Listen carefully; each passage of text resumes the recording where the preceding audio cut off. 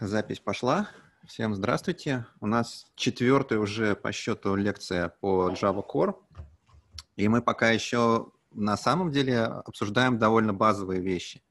То есть э, что-то такое прям нетривиальное из пятой Java пойдет только через одну лекцию. Но Java большая, обширная тема. Хотя сегодня тоже интересно. Сегодня мы будем говорить про эксепшены и э, поподробнее. Но сначала э, поговорим про то, что не успели вчера обсудить. Это enumeration классы. То есть вчера мы говорили про то, что в Java вообще все есть класс. И а, рассмотрели, какие бывают у нас классы, обычные классы, абстрактные классы, вложенные классы, анонимные, а, про интерфейсы поговорили, даже про рекорды поговорили, которые только в четвертой Java появились, э, в 14 сори, Java появились. А, значит, но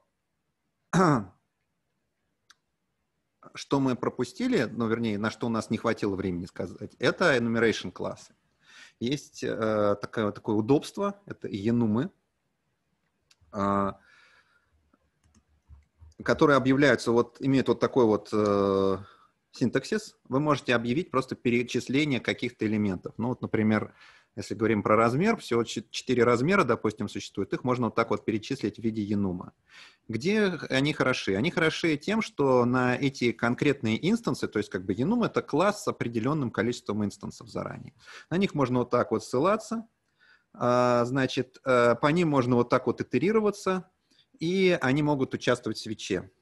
Кто программировал на C или на других языках, э, значит, есть такой подход, знаете, какие-то магические числа, задать интеджер константы, там один это small, два это medium, три это large, и э, потом на эти константы ссылаться, например, в тех же свечах. Но как бы в Java это сделано удобнее, потому что они инумы объектно ориентированные, и у них есть что? У них есть э, поля, методы и конструкторы. То есть мы можем объявить э, как бы enum, но при этом этот enum сделать умным. А, мы можем, например, а, внутри него сделать поле, а, и это поле инициализировать в конструкторе, и тогда вот, вот это вот перечисление, собственно, оно будет ничем иным, как вызовом конструктора, когда инициализируется сам enum. И тогда мы можем, когда мы пользуемся енумом как объектом, брать не только его самого, но и вызывать какие-то методы. Вообще использование енумов, оно в Java очень удобно, это удобная фича. А, если вы видите код какой-то или пример кода, где используется в качестве какого-то фиксированного множества набор целых чисел, не надо так делать. То есть, возможно, э, я не помню, в какой Java появились, по-моему, в пятой они появились в Java, может быть, чуть раньше. Но, э, во всяком случае, может быть, какие-то устаревшие примеры показывают, что давайте использовать целые числа, и по ним там итерировать или их использовать в свече, вот такого не надо. В Java есть енумы, енумы прекрасны. Э, про классы вот такое маленькое послесловие, значит, относительно того, что э, мы сейчас сказали про класс. Конечно, это отдельная тема, и как бы нужна прежде всего практика, и э, вообще это тема для отдельного большого разговора, но тем не менее э, какие-то вещи, напутствия, завершая разговор про классы и все, что с классами э, связано, значит, э, я бы хотел дать. Когда вы проектируете ваши классы, то инкапсулируйте по максимуму. Во-первых, минимизируйте область видимости, то есть делайте private все то, что а, не должно быть а, доступно извне класса. А, минимизируйте мутабельность, то есть объявляйте final вообще на всем, на чем только можно. Final на, на полях класса. Объявляйте, делайте final методы, чтобы их нельзя было переопределить. Делайте final классы, чтобы от них нельзя было наследоваться. Если вам нужно все-таки э, наследования, то тогда документируйте, как вы считаете, что классы-наследники должны вести себя, какой там должен быть контракт. Для чего это все нужно? Это все нужно для того, чтобы в, при развитии проекта, значит, в течение там месяцев и дальнейших лет а, вам код, кодовую базу было удобнее поддерживать, потому что ваш код будут за вас дописывать другие люди, э, вы сами спустя там сколько-то месяцев будете не помнить себя прежнего, который писал код когда-то. И э, когда э, код спроектирован так, что он дает некоторые ограничения, ставит границы, вот этим ты пользуйся, а вот сюда не залезай. Вот это private, то есть это я могу поменять, э, ну, как владелец данного класса, э, имплементацию или эти поля, но ты, э, они не для тебя. Для тебя вот паблик какой-нибудь, getter там или паблик какой-то метод, пользуйся им, пожалуйста. Это отлично способствует поддержанию кода, значит, в хорошей форме. И это то, что, ну, от чего страдают там языки типа JavaScript, отчасти Python, где, по сути, нету концепции private, ну или она такая себе. Вот. Э, здесь мы можем самим кодом поставить границы. Про иммутабельность мы еще поговорим, когда мы будем про конкуренции говорить. Иммутабельность очень полезна для конкуренции. В принципе, э, в, поля, э, в переменных метода final не всегда нужно ставить, потому что в Java есть такое понятие, как effectively final – то есть если мы переменную только один раз инициализируем, то она как бы будет считаться файналом для Java, но как бы явным образом explicitly иногда это полезно поставить. Ну и везде, где только можно, надо ставить final на полях класса. Теперь мы переходим к другой истории. Да, я напоминаю, что принимаются вопросы через Telegram. У нас есть Telegram-чат. И, а, значит, если у кого-то есть вопрос, можете задавать. Если я не отвечаю на вопрос, то размьютесь и задайте голосом, ничего страшного нет. Так, а теперь про исключительные ситуации, про, про исключения, собственно говоря. Какого рода исключительные ситуации, в принципе, бывают, могут быть в программе, когда что-то идет не так? И их можно примерно категоризировать на, так, грубо можно на три субкатегории выделить. Значит, во-первых, это баги в программе, то есть когда программа делает то, что она, ну, по логике вещей делать никогда не должна. Например, она лезет в переменную, чтобы дереференсить ее, и получается, а там нул лежит, а вы хотите вызвать какой-то метод на нуле, а там нул. А если вы обращаетесь там за границами массива, массив из трех элементов, вы лезете в четвертый, деление на ноль. То есть это все те штуки, которые как бы алгоритм ваш делать не должен, но вот пришел рантайм, и вот он их делает. Это явный программный баг. Э, другая история, э, э, другая история – это некорректные входные данные. То есть вы ожидали, что у вас будет файл в таком формате, а у него битый формат, и как бы мы пытаемся его разобрать, а там этого нет. Иногда даже не иногда, а чаще всего некорректные входные данные приходят от живого пользователя вашей программы. Вбивает ли он их через интерфейс или он посылает какие-то данные. Там, где есть человек, там есть некорректные входные данные, и тогда программа просто не знает, что с ними делать. Это исключительная ситуация. Третье – это все, что связано с железом и с сетью. То есть мы открываем файлы, и мы иногда не можем его открыть. Мы пытаемся что-то отправить, и иногда мы не можем это отправить. Что-то сохранить пытаемся, а места на диске нет. Так вот, а, вот эти три большие категории, они относятся к исключительным ситуациям, и посылка exception – это способ явно недвусмысленно сообщить о том, что а, как бы то, что мы попытались вызвать, оно на самом деле завершилось неудачей. А, по другим языкам программирования мы, возможно, знаем, что исключениями пользуются не всегда, то есть этот механизм есть не всегда. Иногда используется а, возвращаемым там, кодом ответа. Но все Unix-программы, когда завершаются, они выдают какой-то код. если этот код 0, значит, они завершились хорошо. А если там код не нулевой, то, как правило, это говорит о том, что что-то пошло не так или что-то нам программа хочет сказать, завершившись. Вот. А, так вот, э, в Java а, мы не трогаем возвращаемое значение – но всегда, э, если что-то пошло не так, можем выбросить исключение. Исключение, как и все в Java, это объекты, ну, как практически все в Java, это объекты, и у них есть иерархия. То есть э, exception сам по себе является экземпляром определенного класса. И вот в этих классах есть своя иерархия. Она вот такая сложная, все на, на вершинке всего находится throwable, то есть это то, что вообще может быть выкинуто. И дальше находится подразделение. Значит, error и exception. И exception еще делится на runtime exception. И э, вот э, на самом деле вот здесь вот уже тут их кучи. Э, по-моему, десятки даже в стандартной библиотеке. И вот здесь вот от exception непосредственно, но минуя runtime exception – а, наследуются тоже десятки даже в стандартной библиотеке exception. И мы сами тоже можем написать exception и отнаследовать их от чего-то. Так вот, э, цель сегодняшней, сегодняшнего занятия, чтобы вы все поняли, от чего же нам наследоваться и почему вот так вот оно все интересно. Вот. Самые базовые классы, они вот какие. Throwable, Error, Exception и Runtime Exception. Оказывается, с этим связано кое-что интересное в логике Java. Значит, э, что такое error? Error — это штука, которая выбрасывает э, исключительно вещи, связанные с Java-машиной. То есть не хватило памяти, э, какой-нибудь байт верифи... байт-код verification не прошел или еще что-нибудь. То есть случилось нечто катастрофичное, что э, Java-машина не может продолжить работу нормально, и она выбрасывает exception, который является наследником эррора их обрабатывать, ловить и как-то на них отвечать непосредственно в Java-коде, конечно, можно попытаться, но гарантии никакой нет, потому что восстановление, скорее всего, работы не произойдет. То есть error — это просто катастрофа. И наследуется от error только эксепшены, которые выбрасываются непосредственно самой Java, и, соответственно, мы с ними ничего не сделаем. Ну, так случилось. Сорян.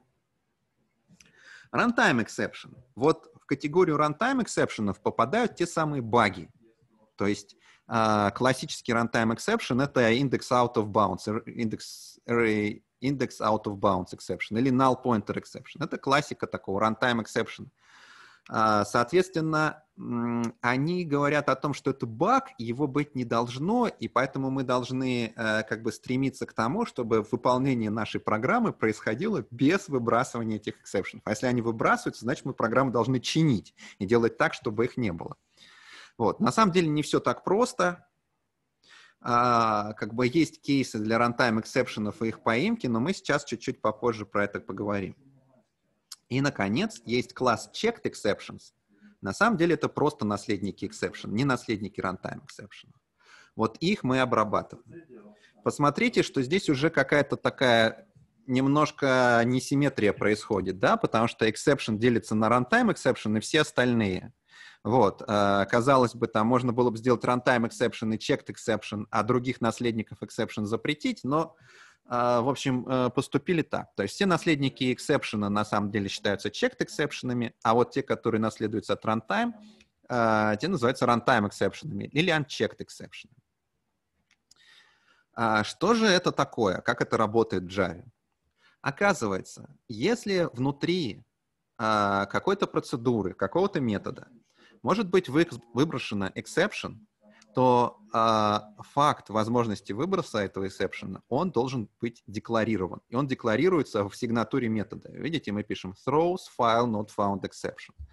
И когда мы читаем, э, когда мы читаем вот такой код, мы понимаем, что этот кусочек может выбросить exception file not found exception, но может и не выбросить. То есть он как бы это потенциальная штука. А если а, мы используем разные библиотеки, там разные другие методы, которые могут тоже что-то выбросить, например, понятно, что если у нас внутри этого метода вызывается другой метод, который может еще EOF какой-нибудь exception выбросить, то тогда у нас количество а, воз, типов возможных исключений, оно накапливается. И мы их можем перечислять через запятую в сигнатуре метода. То есть э, про всякий метод Java мы знаем не только его параметры и типы, не только типы возвращаемых значений, но также мы знаем и какие исключения checked exception он может выбросить. А, при этом, ну, как бы есть некие практики а, распространенные, что unchecked exception, хотя вам синтаксис и компилятор Java не а, запретит, а, значит, использовать а, unchecked exception вот в декларации, но и декларировать не надо, потому что runtime exception, э, типа он может возникнуть всегда, декларировать его не надо, и поэтому э, он может проскочить всегда. Мы же их все время давим, глушим, вот, поэтому мы их не декларируем. А, не надо э, декларировать два исключения, если одно подтип другого. Ну, например, есть такой IO exception, ошибка ввода-вывода, у которого много-много всяких подтипов. Там файл не найден, там что-то еще случилось, диск отвалился. Это все IO exception. И э, вместо того, чтобы декларировать там полдюжины IO exception вот здесь через запятую, можно один throws IO exception поставить, и мы знаем, ну, IO exception или какой-то из его наследников, он выскочит здесь. А, практика, ну, правда жизни заключается в том, что IDE вам всегда поможет, IDE вам всегда подскажет. Если вы пишете какой-то код и вызываете какой-то метод, который может выбросить exception, оно вам скажет, так, тут выбрасывается exception, ты что-то с этим сделай. Или обработай, или добавь его в декларацию метода. А, выбросить exception самостоятельно мы можем следующим образом. Мы создаем exception просто как экземпляр а, любого объекта, Сейчас а, вижу вопрос, сейчас отвечу. А, мы можем а, просто создать exception как любой объект и потом вызвать оператор throw, и вот он приведет к выбросу этого exception. Значит, вопрос. Мне нужно руками контролировать, что в сигнатуре родительского метода прописаны все возможные эксепшены методов потомков. Хороший вопрос. В целом ответ «да». Значит, Э, сейчас я расскажу э, про э, методы потомки, про override, каким образом это работает с эксепшенами в override. В целом ответ «да». А, значит, э, э, с этим понятно, да? Ну и ясно, что, я думаю, понимаете, когда exception проис, э, выбрасывается, то прерыв, происходит вот после throw, происходит вы, выход из процедуры, и происходит выход вообще из всех процедур в этой точке, а пока мы, э, либо пока мы не выйдем из программы самой как таковой, и она просто вывалится, либо пока мы не перехватим этот exception и не обработаем его где-то выше по стеку вызова. Значит, э, когда мы делаем вот этот вот throw, хотя язык нам не запрещает, но конвенция нам запрещает. Вот э, в книге Блоха, а, значит, говорится о том, что явно не следует выбрасывать ну, создавать и выбрасывать эксепшены вот этих вот типов. Почему? Потому что на самом деле они предназначены не для того, чтобы их создавать и выбрасывать. Они предназначены для того, чтобы вы создали свой подкласс, который как-то указывает на проблему. И вот этот вот э, подкласс проинстанцировали и выбросили. Вот. То есть, хотя язык не, не запрещает выбрасывать явно их, но конвенция это делать запрещает. Либо вы пользуетесь каким-то готовым эксепшеном и выбрасываете его, ну, классом эксепшена, сейчас мы посмотрим, какие они бывают. Либо вы создаете, определяете, декларируете свой класс эксепшена и выбрасываете его явно. Если мы создаем свой собственный класс эксепшена, вопрос, от чего его наследовать. А, явно мы их не наследуем от error. Я уже сказал, что error — это прерогатива Java машины, поэтому мы этим не занимаемся. И дальше у нас есть два выбора, на самом деле. Либо наследовать его от exception, либо его наследовать от runtime exception. Если мы наследуем свое исключение от exception, то мы получаем checked exception. И это значит, что если мы написали throw new my exception, то придется декларировать и повсюду в вашем методе, который выбрасывает, что он throws это exception. В методах, которые вызывают ваш метод, его тоже надо будет либо декларировать, либо ловить. И э, в целом вопрос, хорошо это или плохо? С одной стороны, это контролирует, это дает вам контроль над типами еще, то есть дизайн тайм-контроль, да, то есть то, к чему, то есть то, к чему э, стремится всегда Java, а делать контроль в дизайн-тайме, а не в ран-тайме. Вот. Э, но с другой стороны, писанины может быть много. И кроме того, вы не всегда контролируете полностью код, а, который вы делаете. То есть если вы создаете какой-то exception, а дальше ваш метод уже кем-то вызывался, и вызывался он в предположении, что метод никакого checked exception не выбрасывает, то придется поменять весь, всю кодовую базу, которая вызывает вас. Иногда это невозможно. Можно поступить по-простому, можно унаследоваться от runtime exception. Но тогда вот этот весь механизм с декларациями и с checked exception перестает работать оно может вылететь в любом месте, нигде не быть пойманным, ваша программа может вылететь. И э, как бы хорошо это, ну, наверное, не здорово. Все усложняется тем, что, э, в принципе, вот эта история с исключениями, она э, проектировалась, когда еще не было лямбды стримов, а, вообще функционального программирования. Оказалось, когда оно появилось, что checked exception не очень здорово а, ложатся вот в эту вот парадигму. Когда мы будем заниматься этим, а, мы увидим, что там checked exception, вообще говоря, большую-большую проблему создают. Нам не хотелось бы, чтобы, джа, э, чтобы лямбды какие-то checked exception выбрасывали, а, поэтому нам придется их ловить и так далее. И поэтому в последние годы идет такое э, движение, ну вот среди Java сообщества, что давайте-ка мы checked exception забьем на ним и будем только unchecked exception пользоваться, потому что checked exception — это типа зло и головняк, и вообще ненужная фича. Но на самом деле споры не прекращаются, потому что есть и другая точка зрения, которая говорит, что checked exception — это более э, безопасно с точки зрения поддержания кодовой базы. Это более строгий контроль типов. Это то, что компилятор может сделать за нас и проконтролировать и схватить нас за руку да, до того, как программа вообще будет запущена. И это благо, которое, в общем-то, заложено в Java. Java э, э, как безопасный язык э, задумывался, и поэтому как бы давайте как бы это сейчас не отвергать. Но споры, они есть, они не прекращаются.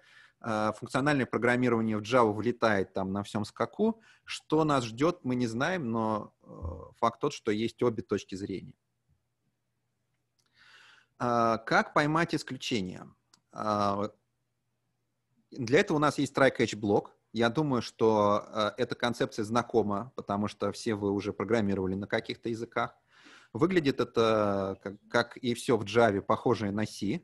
А, то есть у нас имеется код, который может вы, вы, выкинуть некоторые исключения, и мы делаем catch-блок, и вот здесь вот э, мы пишем тип исключения, который мы ловим, и само исключение. Это на самом деле такой первообраз э, чего? Первообраз паттерн матчинга. Потому что исключение не обязательно этого типа может быть, оно может быть субтипа, правильно? Но оно при этом по поймается. Если у нас имеется несколько исключений, которые могут быть выброшены, э, вот, например, э, иерархия IO exception, э, то мы можем ловить каждый из них по, по как бы особым образом. Сказать, вот, вот какой-то код, если он выбросил файл not found exception, тогда делаю вот это. Если он выбросил unknown host exception, делаю вот это. И если э, выбросился какой-то IO exception, который не является ни этим, ни тем, тогда только делай это, потому что от IO exception там десятки всяких э, наследуются. А, вопрос. Как вы думаете, что произойдет, если вот этот вот блок IO exception перенести наверх? Есть у кого-то идея? Наверное, будет всегда, если первые два варианта были, то все, все равно поймает IO exception. А, поймает IO exception, а вторые два не поймает. Вы почти правы, на самом деле код не скомпилируется. Потому что Java скажет, ты чего? А, ты а, как бы что имеешь в виду, что поймай весь IO exception, а потом а, типа, дала, ну как бы IO exception сверху, он пойм, э, он смачит все эксепшены. Соответственно, вот эти блоки, они не смачатся никогда.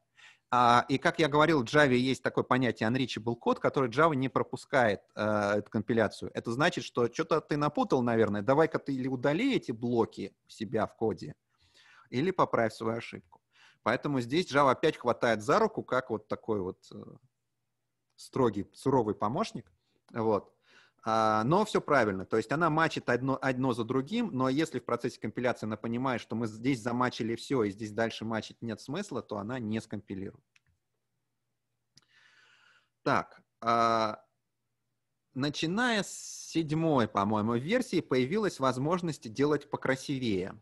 То есть вместо того, чтобы писать вот здесь вот такую большую гармонь из э, catch это, catch то, catch пятое, catch десятое, мы можем написать вот так вот. Поймай мне file not found exception или unknown host exception. В этом случае э, переменная e получит э, как это, максимальный э, most specific common supertype, как это по-русски сказать, максимально специфичный общий супертип. А, то есть в данном случае, вот в данном конкретном случае, E будет иметь тип IO exception, но ловиться будут не все IO exception, а только вот этих вот два. Понятно, да? Это очень удобная штука. То есть э, перечисление через вертикальную палку тех типов эксепшенов, которые мы хотим поймать, try multi-catch так называемый. Это очень удобная штука, это отличная вещь, и э, я рекомендую ей пользоваться. Если у вас много эксепшенов, но вы должны явно задавать, что именно вы хотите ловить. А, кроме того, э, компилятор, он старается нам облегчить жизнь, и он старается как бы не вмешивать э, вот эту вот э, декларацию checked exception, не смешивать с э, нашими попытками поймать exception и перевыбросить. А, потому что иногда нам надо сделать так, поймать exception и перевыбросить его наверх. И вот э, представьте себе, что у нас есть метод, который аннотирован, э, э, у которого в сигнатуре написано, что он может выбросить SQL exception. И здесь мы доступаемся к базе данных, и там у нас метод, который может выбросить SQL exception, но может выбросить что-то еще. И вот мы э, ловим его на exception, а не на SQL exception конкретно. И вот здесь вот E имеет тип э, exception, в общем-то. Что-то с ней делаем, а потом перевыбрасываем. И вот э, компилятор способен понять, что если все, что прибегает сюда, на самом деле не exception, а SQL exception, то он вас э, корить за это не будет. Ну, может, вам удобнее сводить Е вот к этому типу. Он вас за это ругать не будет. Он э, будет говорить, что ты пере, как бы выбрасываешь э, на самом деле SQL exception. Зачем это нужно? Потому что под exception попадает как checked, так и unchecked. Может, вы хотите... В данном случае вы, может быть, и все unchecked exception хотите поймать, что-то с ними сделать, а потом перевыбросить. В этом смысле вам не надо здесь писать throws exception, вот. А специфика как бы здесь останется. То есть не так страшны на самом деле checked exception. А, Еще одна история, а, которая часто происходит с кодом, а, Java кодом ну, на практике, это обертывание, то есть изменение типа исключения. Смотрите, вы часто работаете в каком-то слое, ну вот, допустим, у вас какой-то контроллер, который может выбросить сервлет exception. И он обращается к базе данных, которая может выбросить, допустим, SQL exception. И э, у вас нет возможности здесь записать throws servlet exception, запятая SQL exception, потому что, ну, потому что вы так решили, потому что э, такой контракт, потому что вы работаете в этом слое, потому что этот слой только servlet exception и выбрасывает. И вообще говоря, да, потребители вашего кода, они не должны знать вообще, что какие-то SQL exception там бывают. А, поэтому а, делают так. Берут exception, а, создают другой exception вместо него. Видите, тут servlet exception, database error.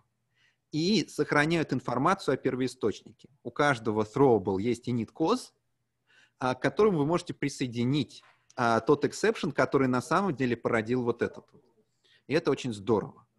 А, это как бы вы пишете письмо и потом делаете attachment да, другого письма в это. Это прям круто, потому что а, если вы этого не сделаете, и кто-то будет разбирать ваш код, а, то с точки зрения человека, который будет разбирать ваш код, где произойдет ошибка? Вот в этой строчке, там, где throw выбросился. И это вам ничего не скажет вам это скажет, что да, произошел какой-то database error, но вот здесь вот в этом блоке try может быть 100 строчек кода, и там может быть 10 вызовов э, базы данных. И где конкретно он произошел, и что случилось, мы не знаем. А вот если мы присоединили сюда init-cost, то мы узнаем. И по логам узнаем, и в дебагере узнаем. Все это будет замечательно видно.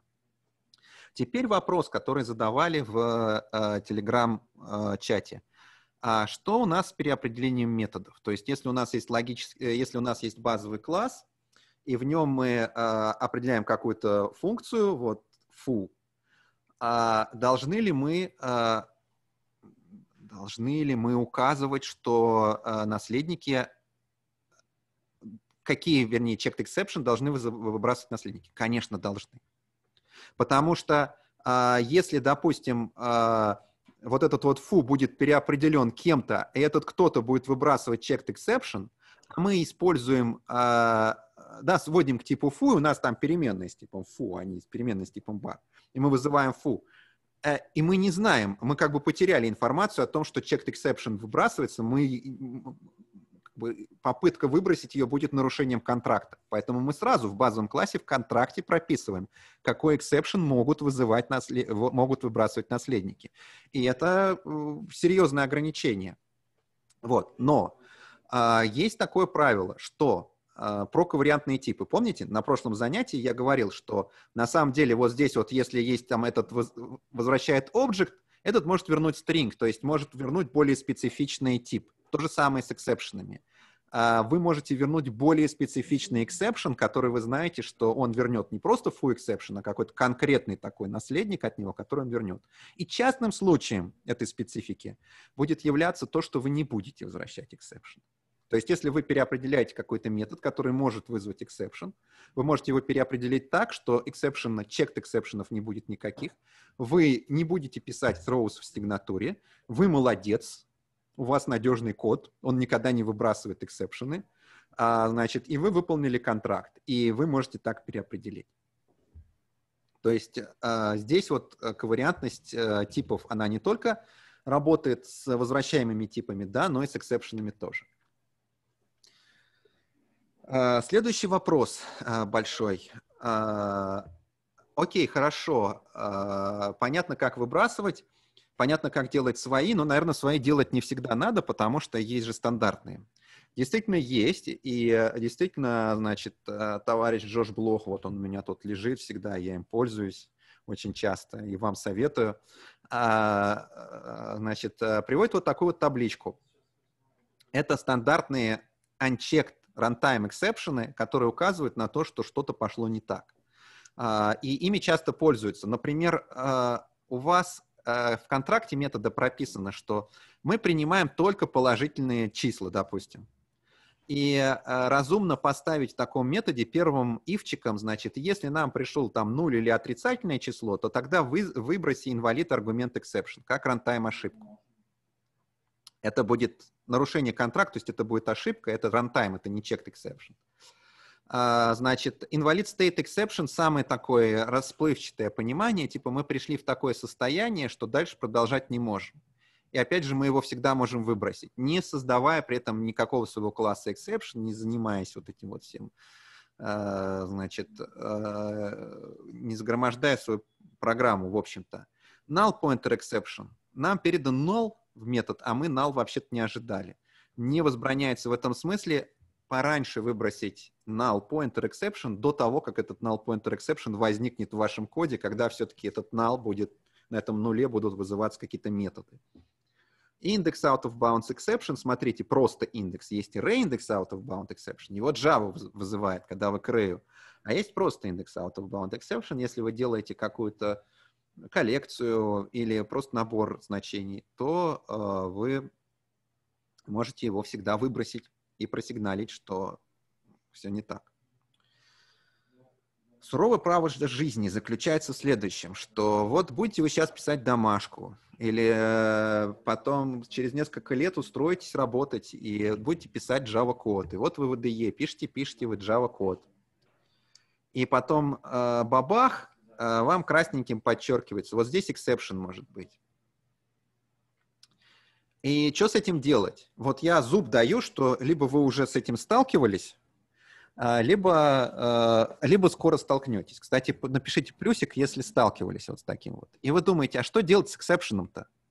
А, ну, написал я try catch. О чем мне писать в catch-блоке? Непонятно ведь, правда?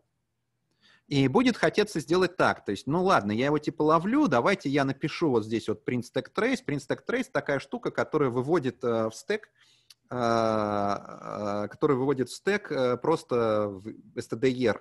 А, значит, э, она выводит э, текущий стек выполнения, типа, что случилось, и дальше мы типа обработали, можем продолжать э, жизнь вот 30 человек. А, что, неужели никто еще не, задавался вопросом, что какие-то эксепшены в Java мешаются под ногами, их надо обрабатывать, и это так не похоже на Python, например, где эксепшены обрабатывать не нужно. Вот. В общем, э, будет хотеться сделать так. То, что я не вижу плюсов в Телеграме, говорит о том, что на самом деле вы не очень-то еще пока программировали Java. Вот. Так хотеться будет сделать, но так делать не надо. Что надо сделать, это э, как бы вот два, на самом деле, совета, потому что третий это тоже как не надо делать. а, задекларируйте checked exception в методе. Если это полностью ваш код, и он создает эти самые эксепшены, и вы полностью им управляете, задекларируйте checked exception в методе. Я сейчас объясню, как, что делать дальше, потому что, понятно, мы задекларировали, как будто мы спихнули проблему куда-то на, на, дальше. Это нормально, что мы ее спихнули туда. А, либо, если, э, ну, на самом деле, надо, да, этот слайд немножечко переписать, а, либо все-таки э, если у вас есть какой-то контракт, что вот на этом слое вы выбрасываете checked exception вот такого типа, то оберните в другой checked exception, обязательно с помощью init calls подпихнув первопричину либо ваш контракт, если вообще никак не, не позволяет э, сделать э, throws в сигнатуре метода, ну вот, ну никак, э, может быть, вы там переопределяете какой-нибудь базовый э, класс, где уже все как бы не в ваших силах что-то поменять, да, то в таком случае вам ничего не остается сделать, как выбрасывать unchecked exception и э, вы тоже можете его обернуть в правильный unchecked exception, тоже выбрать init calls и тоже перевыбросить. Вот. Это э, правильные вещи, которые надо делать с э, местом, где вот вам подчеркивает IDE, что э, exception и, э, значит, э, что-то с этим надо делать. А, есть, плюсики есть, отлично. И, наконец, третий ситуация, который, э, как бы вредный совет. Э, я уже рассказывал про Lombok, но просто надо знать. У Lombok вы можете поставить над методом sneaky throws, и он превратит все exception ы, которые выбрасываются в нем, в unchecked.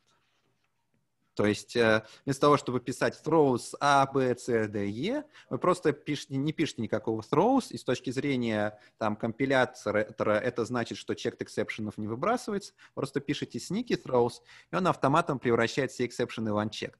Это не здорово, потому что это как бы э, нарушает механизмы, за, ну, идеологию, заложенную в Java. Конечно, вы всегда можете сделать так явно, там, прописав какой-то код, но Lombok, он, как всегда, помогает вам не писать, может быть, лишний код в этой, в этой ситуации. Вот.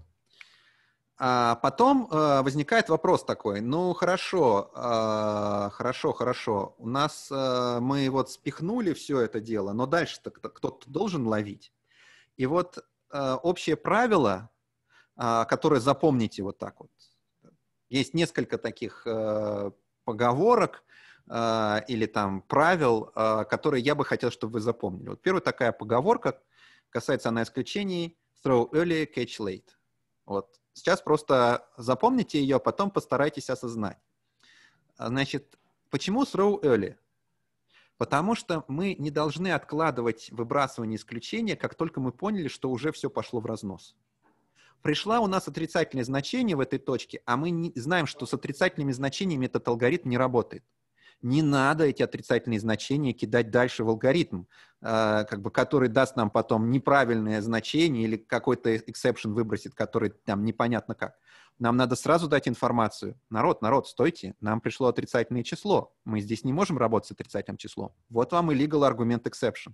Это так называемый fail fast история. То есть кажется, что мы сделали в этом месте программу менее надежной.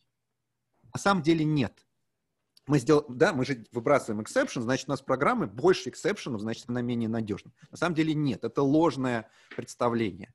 А, они, мы сделали ее столь же надежной, как она была, потому что если отрицательные числа сюда не придут, то ифчик не сработает, exception не выбросится. Но мы сделали программу более легко отлаживаемой в случае проблемы. Потому что когда нам пришел, и мы выбросили exception, здесь нельзя, не нужны отрицательные числа, насколько легко понять человеку, смотрящему код, что «Ах ты, действительно, я забыл про это, мне надо было if где-то там выше поставить» и это исправится моментально, да? А если у нас просто э, как алгоритм сработал и выдал какой-то бред, или он выдал какой-то exception, который не, ну, как бы непонятно какой, насколько э, труднее будет отладка. Поэтому throw early. Как только вы понимаете, что оно пошло в, раз, в разнос, выбрасывайте сразу. Это касается не только программирования на Java, это касается вообще Э, любой программной инженерии.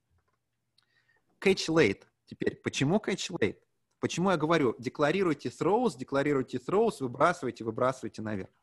Да потому что, находясь в глубине стека, находясь внутри вашей программы, вы еще не знаете всего контекста, в котором она работает, и не понимаете, как этот exception можно обработать. Например, вы пишете какую-то библиотеку, ну или какую-то программу, вы даже не знаете, она будет работать на десктопном приложении, где exception — это окошечко такое, да, с exception. Или она работает на сервере, где exception — это вывод в лог, в stdr. А может быть, вы не в stdr хотите выводить, может быть, вы работаете внутри приложения, которое использует специальный логер, и там, не знаю, а, куда-нибудь там в Elasticsearch или в Kafka пишет ваши сообщения, которые потом э, будут анализироваться централизованно, потому что вы, может, в кластере работаете. Вы этого не знаете. Поэтому выбрасывайте, и пусть, э, значит, э, ловлей занимается самый верхний уровень. А что такое самый верхний уровень? Например, main метод в программе он точно знает, что он запущен и, там, из командной строки, он точно знает весь контекст и для чего он запущен, для того, чтобы сделать десктопное приложение или серверное приложение и так далее. И вот там-то они точно знают, что делать с эксепшенами. Логировать их, там, пытаться перезапуститься, вырубать программу сразу и так далее, и так далее. Поэтому э, делегируйте на, максимально наверх ловлю исключений. Так. Э, если есть вопросы по этой части, задавайте. Так, э, что у нас э, еще есть? У нас есть такой finally блок. На самом деле это немножко outdated фича в Java, но она, э, она есть. А, значит, помимо catch блока в try, у нас есть возможность написать слово finally и это finally даст нам возможность выполнить нечто э, в любом случае при выходе из try-блока. Для чего это нужно? Потому что иногда нам нужно обязательно выполнять нечто. И это нужно относится прежде всего к ресурсам, которые необходимо высвобождать. Вот взяли мы, например, э, файл input stream, открыли файл. Мы зарезервировали файловой системе ресурс, который мы должны отдать файловой системе.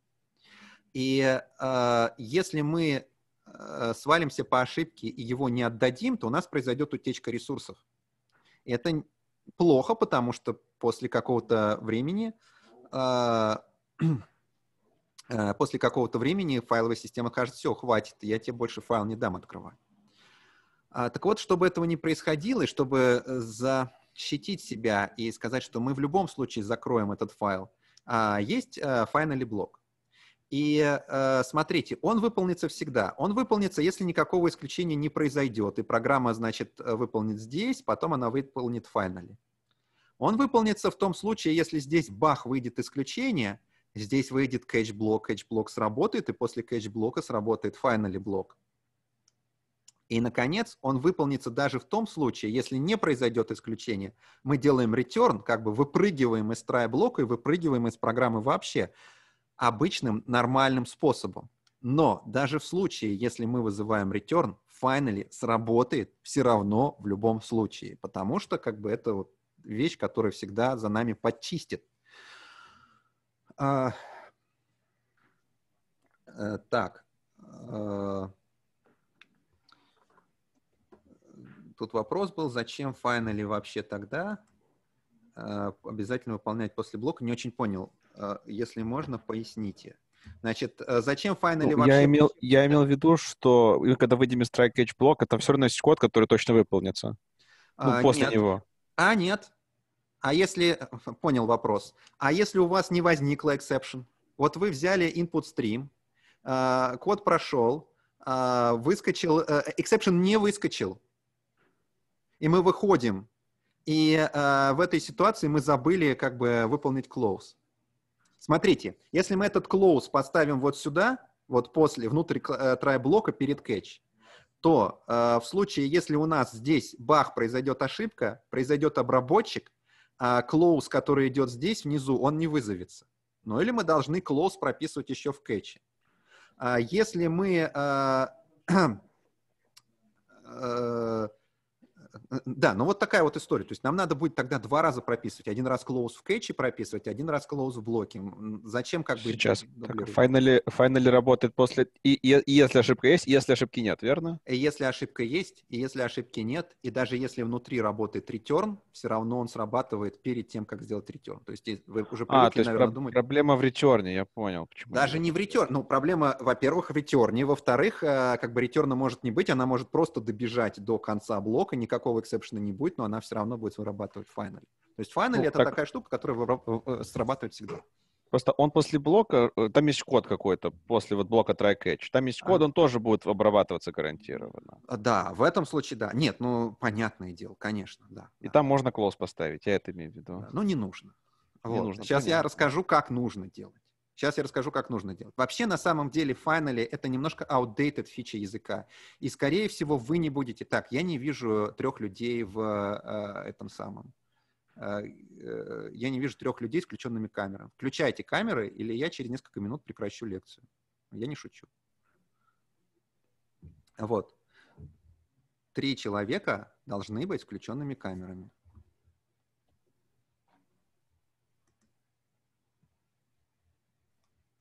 Они, есть, они есть. Они есть, все, отлично. Так, продолжаем. А, у нас а, беда с Finally с finally блоком вот какая. А, смотрите, если у нас ресурс всего один, мы его взяли, значит, а, потом заиспользовали, и потом finally, finally закрыли. Вот нормальная история, да? Return reader, read, readline, отлично, прям вот readline возвращается, но finally как бы нас этот return перехватит и закроет. Видите, как удобно как бы его использовать. Но, а если ресурсов два, Смотрите, что происходит. Если мы хотим прочитать и еще и записать, и э, на самом деле может показаться, что а давайте сделаем один try finally блок, и вот в finally блоке пропишем out close и in close. Но если вы начнете думать поглубже, вы поймете, что а, да нет гарантии. Во-первых, out close может вы, вызвать exception, и тогда до in close вы не доберетесь, in у вас не закроется. И а, как бы как, э, как вам вот этот огород городить? Потом exception на самом деле везде, где угодно может возникнуть. Поэтому правильный, э, правильная история с открытием сразу нескольких ресурсов, а они чаще всего так и есть. Вы в, ба- одну базу берете, в другую кладете, из файла берете, там в базу кладете. То есть всегда возникает несколько ресурсов, на самом деле, которые а, надо закрывать. Возникает такой вот nested, uh, nested uh, finally история. Это некрасиво. И uh, поэтому а, значит, а, в как, с какого-то момента у нас появилась такая история, как try with resources блок. Что это такое? Мы пишем try, потом в скобках пишем, объявляем какой-то ресурс, который обязательно надо закрыть, и пишем здесь фигурные скобки. За фигурными скобками, вот за этим блоком может последовать catch блок. Но finally блок уже не нужен, потому что то, что мы объявили в круглых скобках, оно будет закрыто потом обязательно. А, значит, а, вот один пример, да, мы берем сканер, объявляем его в try with resources блоке, что-то делаем и выходим. И мы здесь вообще не думаем про исключение в данном случае. Э, понятно, что исключение там придется какие-то задекларировать, если он IO exception выбрасывает, а сканер выбрасывает, если я не ошибаюсь, IO exception, его придется делать throws. Вот. Но э, мы про это здесь не думаем, мы просто за, взяли этот сканер, как бы здесь его внутри этого блока используем, и потом, когда выйдем из блока, он закроется. А, таким же образом мы можем а, э, множество ресурсов сделать. Смотрите, здесь в фигурных в круглых скобках через точку с запятой может идти несколько стейтментов, а, которые декларируют несколько переменных, определяют несколько переменных, а которые потом при выходе из трай-блока будут корректно всегда, вне зависимости от того, значит, получилось с одним, получилось с другим, они все будут закрываться. А вот, и там, если какой-то э, э, clause будет вызовет exception, то э, другие все равно будут вызваны. Возникает вопрос, а ну вот здесь-то мы, смотрите, вот здесь вот мы в finally блоке знаем, что делать, вызываем метод close. А здесь-то как, э, как Java вообще понимает, что ей надо вызывать? Так вот, э, история такая, что на самом деле Э, для того, чтобы эта штука работала, вот сканер и вообще любая, любая переменная, которую вы хотите использовать в Private Resources блоке, она должна имплементировать интерфейс AutoClosable, как минимум. Их есть два. Есть интерфейс AutoClosable и ковариантный к нему Closable. AutoClosable выбрасывает просто exception. Closable, он более специфичный, он выбрасывает IO exception. И вот, э, ну, вы можете еще какие угодно интерфейсы придумать, которые Closable э, расширяют. Но в любом случае, а, если у вас где-то в иерархии есть автоклоузабл, вот значит эту штуку можно ставить в private resources блок. И нужно ставить private resources блок. И нужно использовать private resources вместо try finally. На самом деле, по моему опыту, судя, а, сейчас в, ну, при современной Java разработке почти не осталось мест, где finally был бы нужен. То есть это либо очень какой-то очень старый, э, старый код или старые библиотеки, которые там автоклоузабл не имплементят или еще что-то. Но, по сути дела, вот finally блок, он сейчас не нужен, он полностью перекрывается try with resources. Поэтому э, используйте with resources, и он будет вам возвращать ваши ресурсы назад, и все будет хорошо. Finally, скорее всего, вам не понадобится. А, возникает вопрос а, немножко наперед, что, ну, а как же мне тогда раздавать ресурсы, которые необходимо закрывать, как это а, грамотно делать с точки зрения объектно-ориентированного дизайна, об этом мы поговорим. То есть через несколько лекций мы к этому вернемся. Теперь некоторые предостережения. Значит, исключения — это вещи, назначенные для исключительных случаев иногда может захотеться э, сделать так, что, ну да, exception, он прерывает выполнение, выпрыгивает, раз, раз, выпрыгивает из всех циклов, выпрыгивает из всех процедур, и потом мы где-то его можем поймать. Ну, допустим, э, можно захотеться сделать вот такой вот э, чудовищность написать. Давайте мы вот э, будем э, идти по массиву, и вот когда массив выбросит array index out of bounds exception – Э, то тогда мы прекратим идти по массиву. Как бы кода мало, но на самом деле это, это ужасно. Я сейчас скажу, почему это ужасно. Ну, как бы не потому, что это насилие над, э, над языком, а по вполне конкретной причине. А если вы хотите пройтись по массиву, я напоминаю вторую лекцию. Самый крутой способ прохождения по массиву по любой коллекции, которая а, имплементирует интерфейс iterable, это вот Э, такая штука, for цикл по элементам, по всем элементам. Это прям самая Может, удобная штука. Вопрос. Да. А вот этот iterable, он будет по ссылкам, правильно? Uh, iterable дает итератор, и потом он идет по, uh, по элементам. То есть, uh, смотрите, в настоящий момент вам достаточно, достаточно понять то, что если нечто имплементирует iterable, то по всем элементам этого нечто вы можете пройтись в этом цикле for. А, вот. А, ну, в Java как бы любой объект, он по ссылке передается, пока еще. А мы чуть-чуть попозже про коллекции и про iterable а, поговорим. Это будет после лекции про дженерики, мы будем подробно говорить про коллекции, и там я буду говорить про iterable, что можно изменять, что не можно и так далее. Вторая история, значит, ну, вариация на, на первую, значит, допустим, у нас есть некий итератор, и вот мы, опять же, этот итератор э, дергаем, ну, уже э, конкретный итератор, и пока он, когда он закончится, выбросится no such element exception, и давайте, значит, типа его поймаем, или там не поймаем, а просто заглушим, и пойдем дальше выполняться. Опять же, так делать не надо. Опять же, если у вас не iterable, а итератор, то вы можете воспользоваться старым добрым циклом for вот, э, которым здесь вы можете делать присвоение, здесь вы можете делать пост э, э, выполнение какое-то, да, здесь условия просто нет. А, а, вернее, здесь как раз-таки условия есть, это то, что он has next, а здесь, значит, нет ничего, мы просто здесь в цикле вот этот вот и next вызываем. Вот. А, почему я так говорю? Потому что ну, во-первых, э, мы мешаем, мы смешиваем э, а, мы смешиваем код, который предназначен для обработки ошибок, код, который как бы штатный, то есть исключение это все-таки всегда не штатная ситуация. Но это еще, и даже если на это наплевать и сказать, что да ладно, а, значит, грязный код, зато типа рабочий. А, каждый exception, каждый объект exception — это тяжелый объект, который несет в себе много информации. Он несет в себе весь stack trace, то есть весь стек вызовов, который привел к этому exception у, он просто записывается, кладется в exception и приаттачивается к этому exception у. Это же нужно для отладки. Вот. А, и поэтому, если вы в цикле в каком-нибудь в большом будете вызывать и ловить exception, вот у вас цикл, и у вас там этот exception вызывается, но вы его ловите, то вы поимеете очень э, серьезные проблемы с производительностью очень быстро. И э, кроме того, э, JIT, он не оптимизирует никогда код под исключение. То есть никогда не будет считать, что исключительная ситуация — это ситуация штатная, что ее можно как-то заинлайнить, оптимизировать и так далее.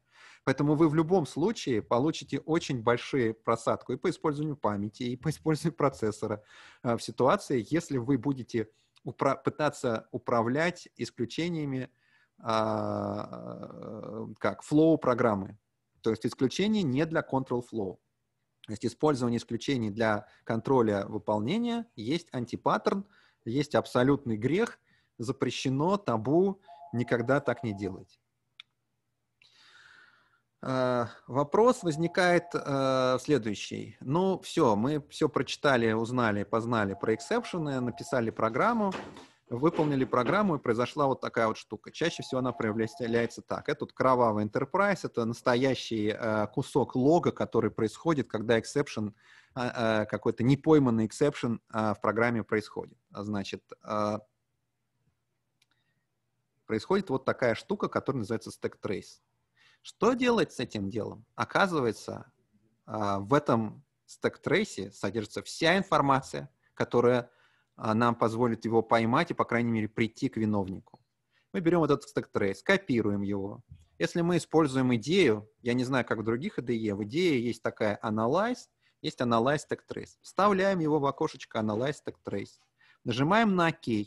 Мы получаем внизу а вот такую вот browsable штуку по всем строчкам кода, а, значит, э, где чего происходило. То есть мы можем понять, во-первых, место, в котором exception вылез, и, во-вторых, мы можем понять, какие процедуры вызывали эту процедуру, что этот exception произошел. Может быть, вина, ну, непосредственно не в этой точке, а вина в, э, виноваты вызывающие процедуры.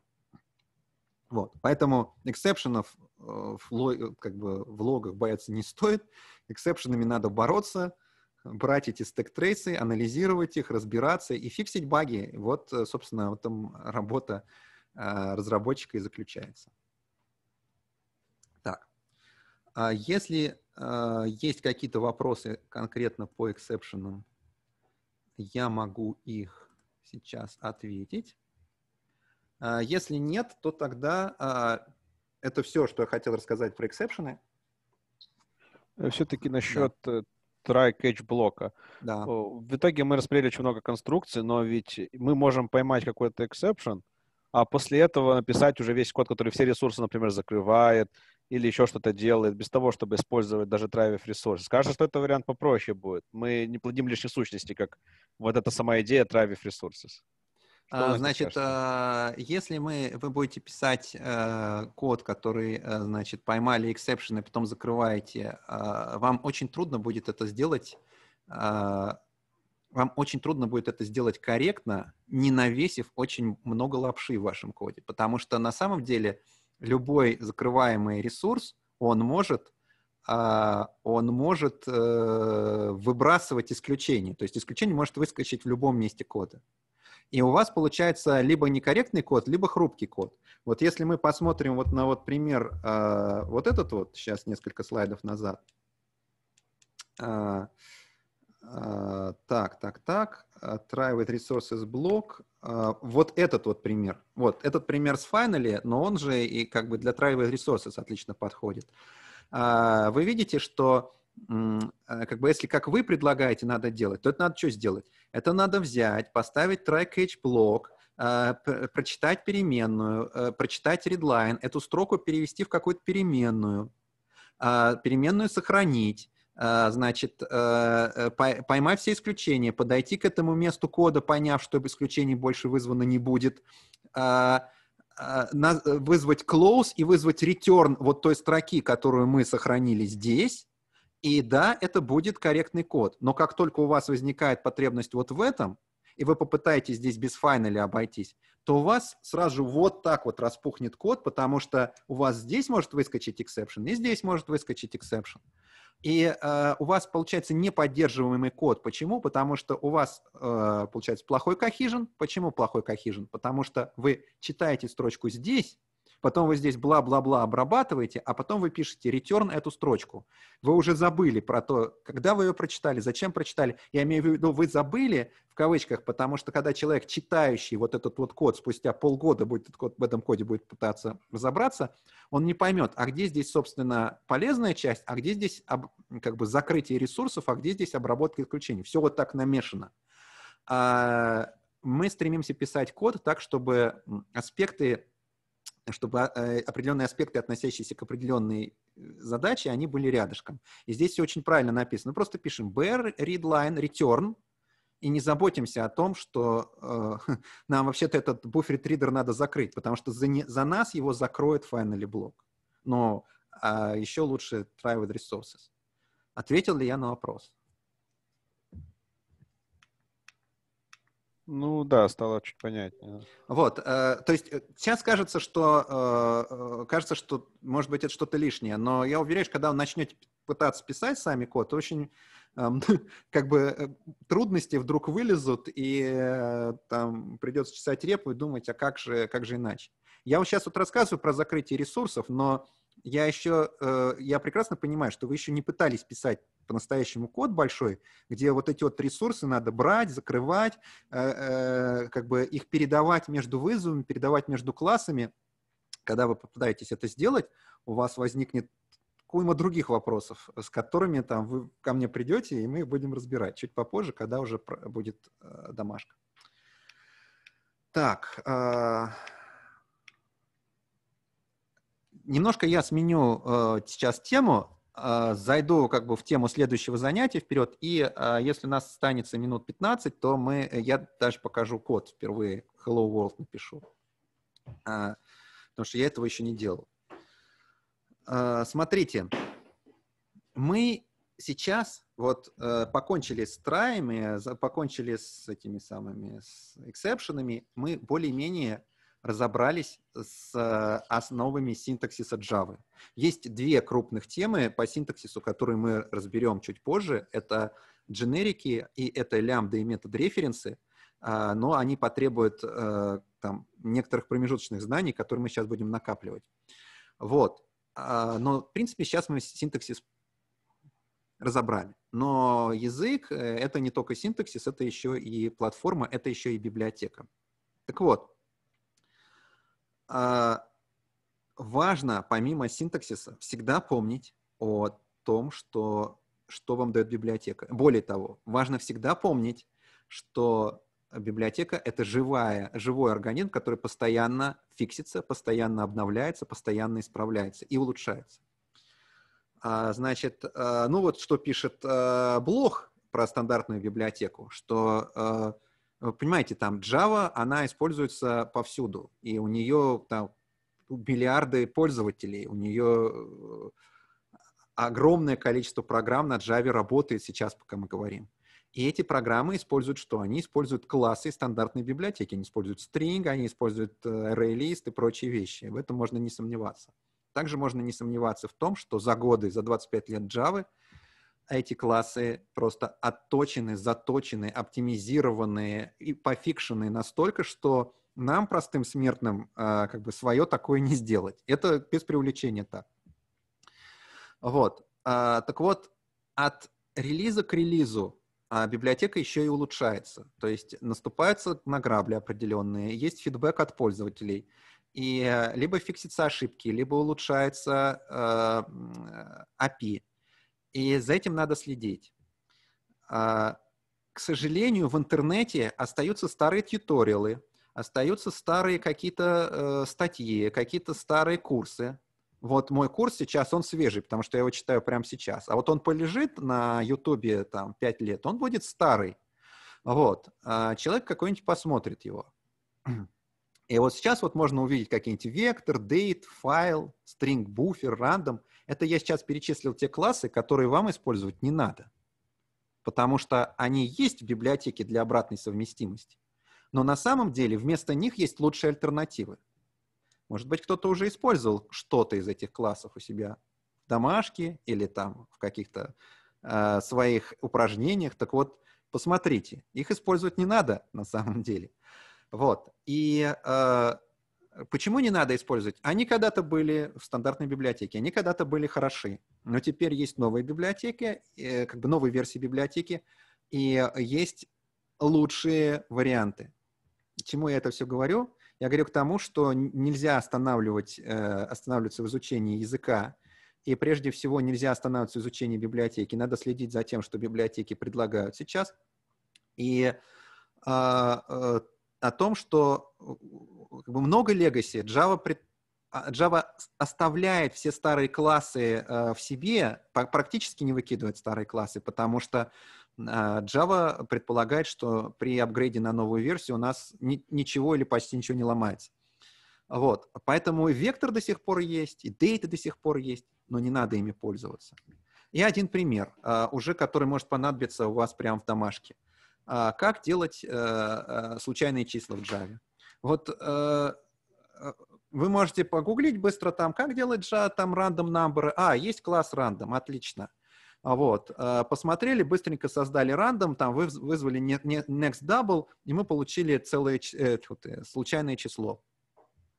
Вот. Но на самом деле, если мы вот так вот будем делать, то э, всякий раз будет создаваться Э, для э, генератора псевдослучайных чисел. И, э, значит, это медленно, это невоспроизводимо, потому что, да, если у нас имеется какой-то сит, то мы можем всегда воспроизвести последовательность, и это иногда очень полезно бывает. Вот.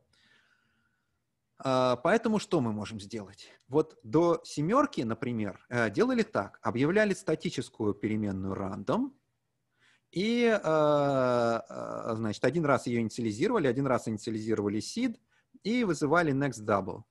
И на инициализацию рандома времени не тратилось. И как бы оно было лучше, э, эффективнее и жило. Но семерка уже когда вышла-то? Лет, наверное, чуть ли не 8 назад. Вот. А люди все так делают, и кода такого полно в интернете. А так делать не надо, потому что начиная с семерки есть thread local random, у можно вызвать статический current. Это будет ваш рандом, который, э, значит, привязан к вашему потоку выполнения, и он еще и потокобезопасный. И вот из него уже вызвать next double. И, э, значит, мало того, что э, там они подправили этот генератор, и там более качественное распределение случайное получается – они еще его и убыстрили. Он в 3,6 раза быстрее, чем вот такой вот рандом, который здесь. И э, это пример из книги Блоха, кстати, вот третьего издания про э, Effective Java. Он говорит, что до сих пор народ пользуется старым рандомом, а не знает про новый рандом, а он почти в 4 раза быстрее и, и, и вообще лучше. И это, это только один пример. Поэтому Вывод такой. Следите за тем, что происходит в библиотеке. Вот. Ресурсов достаточно много, э, и надо пользоваться самыми свежими. Я в, своих, э, в своем курсе лекций стараюсь не использовать никакие legacy API. Вот, то есть какие-то API есть в Java, которые на самом деле э, legacy. Но я прекрасно понимаю, что мой курс через несколько лет превратится в legacy, поэтому я вам сейчас это все проговариваю. Так, теперь э, мы переходим к самому важному библиотечному классу. Вот сейчас и на следующей лекции мы будем говорить про библиотечные классы, которые пока еще не требуют дженериков для своего понимания. И самый распространенный класс после объекта в Java — это string, потому что string — это все. Мы уже говорили, что стринги, для стрингов есть литералы, что мы можем их вот так вот объявлять. Сейчас мы должны понять, что строка это в Java — это объект иммутабельный, а, то есть один раз его соорудив, изменить его мы уже не можем — Э, если нам нужна новая строка, мы можем взять старую строку, взять, допустим, в ней подстроку, что-то добавить и получить новую строку. То есть э, ситуация такая, ничего не мутируем, просто создаем новую строку, как новый объект. Хотя внутри строки находится массив, а массив — это штука мутабельная. Но она полностью private заинкапсулирована, этот массив, и ни за что вы никогда не поменяете его. А что же за массив-то внутри строки находится? Здесь тоже очень интересный вопрос, который важно понимать. До 9 Java это был массив чаров. Вот чар — это такой примитив. Помните, я на втором занятии говорил, что у нас есть примитивы, что у нас есть примитив чар, и вот чар сделали как примитив, чтобы собрать его в массив и сделать строку. И чар 16-битовый, и когда 25 лет назад Java начиналась, казалось, что 65 э, тысяч символов хватит всем для Unicode, никто же не мог подумать, что эмодзи будут. Вот. И, и, и, и, и что Unicode так разрастется. Э, поэтому, э, к сожалению, сейчас как бы char — это не символ. И кроме того, после Java 9 а, возникла история другая, что с одной стороны Unicode, Unicode, э, и китайские иероглифы, и эмодзи, и все это надо строго хранить, безусловно, но э, абсолютном-то большинстве случаев, вернее, ну не в абсолютном большинстве случаев, а в значительном количестве случаев instance string а хранит в себе латинские буквы, цифры, э, какие-то коды, которые умещаются в один байт, в однобайтовую кодировку. Latin-1, так называемый. И, э, э, а массив char ов — это под каждый символ все равно 16 бит. И возникла идея, а давайте мы сделаем так, что строка будет либо э, в кодировке Latin-1, и тогда она будет в два раза меньше пространства занимать в памяти. А либо, если там есть русские буквы, китайские буквы, эмодзики, тогда она будет UTF-16, и э, да, латинские символы при этом будут занимать 16 бит, но от этого уж никуда не денешься. И э, вот эта вот э, штука в Java 9, она очень сильно уменьшила потребление памяти всех Java программ. Прям сразу так раз, мы ничего не сделали, просто на Java новые обновились. А у нас, опа, хипа-то гораздо меньше стало, потому что мы в хипе хранили строки, а строки эти были с латинскими символами. Вот. А, про то, как это все устроено, есть э, доклад Алексея Шепелева, уже достаточно старый, там он рассказывает, как сражались за это дело, а, как это непросто сделать, чтобы ничего не поломать. А, но, тем не менее, есть вот такой флажок кодер. Сейчас у кодера всего два варианта. Либо это Latin 1, либо это UTF-16. И строка внутри себя теперь больше хранит не массив чаров, она хранит внутри себя массив байт. Вторая принципиальная вещь, которую нужно понимать про строки. А, а в Java есть, э, ну, в Java машине, в Java runtime, вернее, есть такая штука, как э, string constant pool. Когда мы э, пишем вот так вот, просто вот такой вот код, name 1 равно John Doe и name 2 равно John Doe. И вот эти вот две строчки, на самом деле, они одинаковые по внутреннему состоянию своему. Что делает Java? А, это же понятно, что это может быть не в одном Java вообще классе по коду разбросаны одинаковые строковые константы. Она берет и все эти строковые константы дедуплицирует, кладет их в string constant pool, и э, э, как бы, когда мы присваиваем переменную вот, такому, вот такой вот константе, э, они все ссылаются на один объект.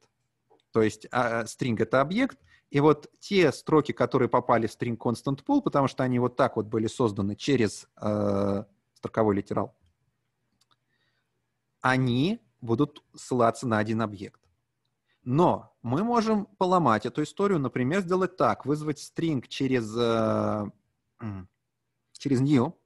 Нас, нам это язык синтаксис не запретит сделать, но при этом э, такая строка создастся в куче, она не попадет э, в string constant pool, потому что new, но он обязан новый объект строковой создать. Вот он будет другой.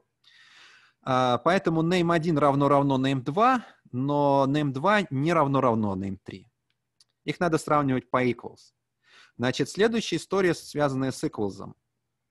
Я думаю, что это уже известно всем. Если вы все э, как бы работали с разными языками программирования, вы знаете, что это ошибка новичка, что сравнивать со строкой, строки по равно-равно нельзя. В Java никак, потому что это могут быть разные объекты, но одинаковые состояния внутренние. Их надо сравнивать по equals. Так вот, вторая вещь, которую вы, возможно, не знали. Вот так тоже не делают. Если вы где-то в коде у себя так написали, перепишите. Так не надо.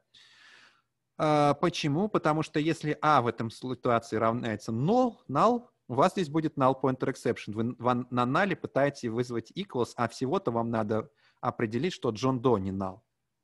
А как правильно сделать? Правильно сделать вот так. А, видите?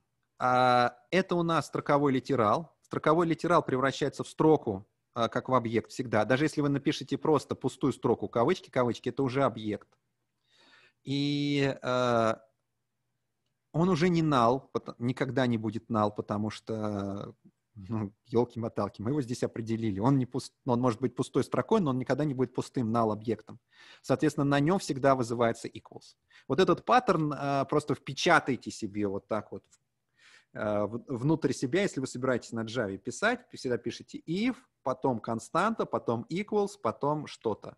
Э, есть еще такой equals ignore case, который э, типа сравнить, не, как это, не учитывая э, регистр символов. Вот он тоже так же работает. Значит, потому что это объект. И, наконец, если вы хотите проверить, что строка там не нулевая и не пустая, то можно писать так. То есть сначала э, из null, дальше мы здесь полагаемся на короткое замыкание, потому что если она все-таки null, то мы сюда не попадем, поэтому здесь не null. И вот здесь вот мы пишем там trim — это обрезание пробелов с двух сторон, и там isEmpty — это метод, который говорит, пустая строка или не пустая. Вот так вот мы работаем со сравнением строк Java. Другая история, а, значит, которую любят спрашивать на собеседованиях, которую вам, возможно, преждевременно знать сейчас, но э, раз уж как бы лекции и должна быть полнота материала, то я скажу. На самом деле строки мы можем интернировать, то есть возвращать в constant pool. Посмотрите, а, мы, э, одна строка создалась через литерал, соответственно, она в string constant и два, две строки, вот это Джон До, а это Джейн Ро, они разные на самом деле, мы создали через new, и они в string constant pool не попали. Так вот, Э, есть у каждой строки такой метод называется. Он intern, который мы можем вызвать. И э, тогда после вызова intern все строки попадут в string constant pool. При этом Джон До, он дедуплицируется по равно-равно, потому что это одно и то же. А Джейн Ро, если ее не было в string constant pool, она туда попадет как новенькая. Зачем это нужно? Это нужно для всяких адских оптимизаций по скорости, когда вы все-таки хотите сравнивать строки по равно-равно. Или э, если вы э, генерируете очень много строк, и у вас большая нагрузка на хип, и вы хотите дедуплицировать строки в хипе, и вы хотите снизить нагрузку на хип э, и тогда вы интернируете строки. То есть пока у вас не возникло проблем с хипом, или пока вы, э, значит, не решили встать на скользкую дорожку сравнивания строк равно-равно, интернирование строк вам не нужно. Конкатенация строк. Конкатенация строк делается при помощи плюсика. Это специально такой перегруженный оператор, который на самом деле есть метод на двух строках, специально сделанный для э, строк. Ситуация такова, что для, э, мы сами перегружать операторы в Java не можем, к сожалению. Это ограничение языка, может быть и к счастью, меньше хаоса.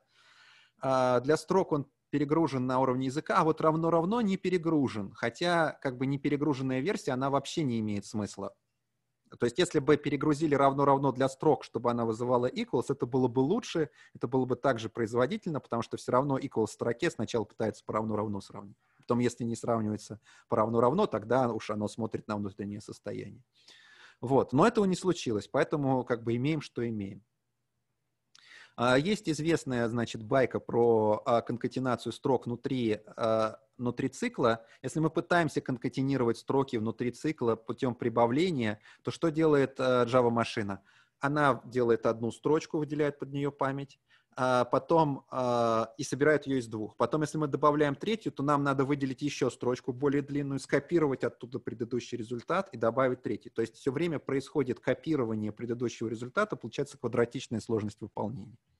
Чтобы квадратичной сложности выполнения не было, мы используем string builder, такой класс, а string buffer не используем. Если кто-то вдруг видит у себя в коде string buffer, выкиньте его и замените на string builder. Потом расскажу почему. А, значит, и вот здесь вот как раз в цикле при помощи метода append мы можем создать строку, а часто так бывает, да, мы не знаем, какой длины будет строка, но нам надо в цикле ее создать. Вот string builder как раз для этого нужен. И это будет быстро, и у нас не будет квадратичности, э, сложности по выполнению. А, значит, а, длина строки. Все сложно. А, опять же, у нас есть наследие 25-летнее, а, когда у нас был UTF-16, и когда казалось, что а, как бы 16-битового символа всегда хватит. У нас есть метод length. Значит, длина строки в UTF-16 code unit — это length.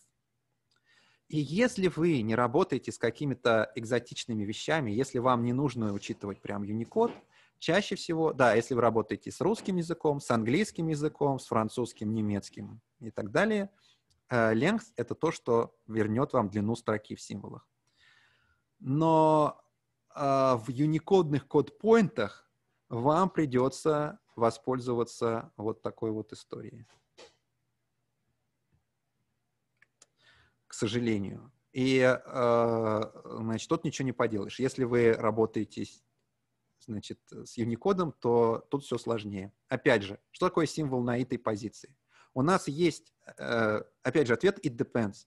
У нас у строки есть метод char_add, который возвращает char. И, как вы понимаете, раньше, во время ona, это было всего лишь что? Это было всего лишь взятие элементика массива чаров в строке. Это очень быстро работало. Это и сейчас быстро работает. А, только сейчас берется массив байт, надо решать, как бы он однобайтовый или двухбайтовый. Это быстро работает. Он возвращает нам char. Но э, char уже из себя представляет не символ как таковой, а UTF-16 код unit. Опять же, я подчеркиваю, что в абсолютном большинстве случаев, и если мы говорим про русский и английский язык, то стопудово, значит, это и есть символ, это и есть буква какая-то. Но если нам нужны код points, если мы прям вот серьезно обрабатываем uh, Unicode, то uh, нам необходимо строчку свести к uh, массиву интов. Это уже 30, не 16-битовые значения, 32-битовые значения. Вот их-то точно должно хватить для того, чтобы все возможные, чтобы все возможные символы представить. Вот. Дальше. Условно говоря, я делю, ну, да, я как вот человек уже с опытом работы на Java делю методы на стринге на полезные и вредные.